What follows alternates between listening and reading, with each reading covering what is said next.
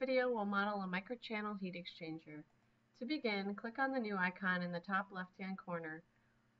The new coil wizard will appear. On the coil type screen, select microchannel heat exchanger using headers. The next screen allows you to select the solver type.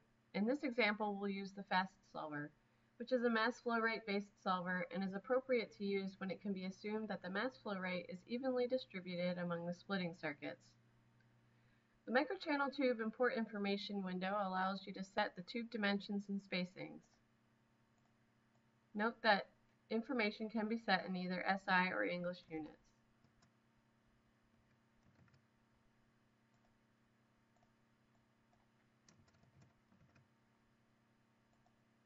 Next is the fin information window. Here you can specify the general fin parameters,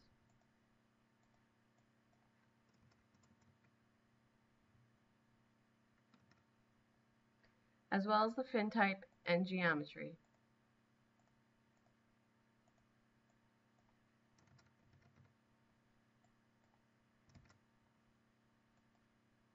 The refrigerant screen allows you to set the external fluid, which will leave as air, and the refrigerant.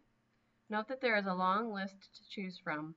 All of the refrigerants included in the RefProp database are included with CoilDesigner. You can also specify a user-defined fluid as well as a mixture. Next is the heat transfer correlation and pressure drop correlation window. It's important to specify correlations that are appropriate for your application, such that you can get accurate results.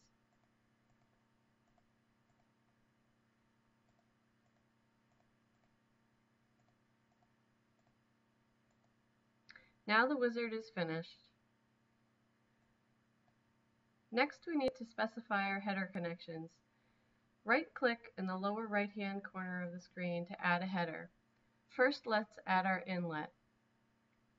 Specify the pressure and temperature conditions.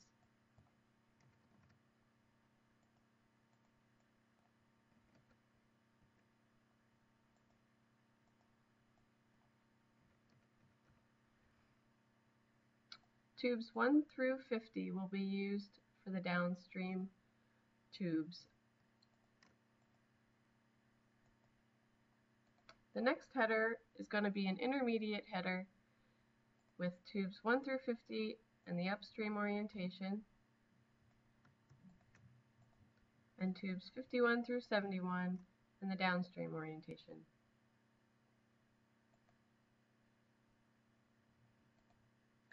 Lastly is the outlet.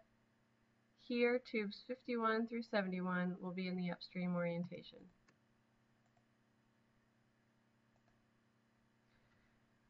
Next, we need to specify the airside parameters. Click on any of the boxes in the, in the segments view. Here you can specify the temperature, relative humidity, and velocity for each and every one of the segments across the front of the coil if you so desired. This allows you to account for 2D air maldistribution. Alternatively, you can specify that these parameters are the same across the face of the coil, and we'll do so in this example. Now the coil is ready to run. Click on the green Run button, and the results are quickly generated. Results are available across the various tabs and can also be exported to Excel.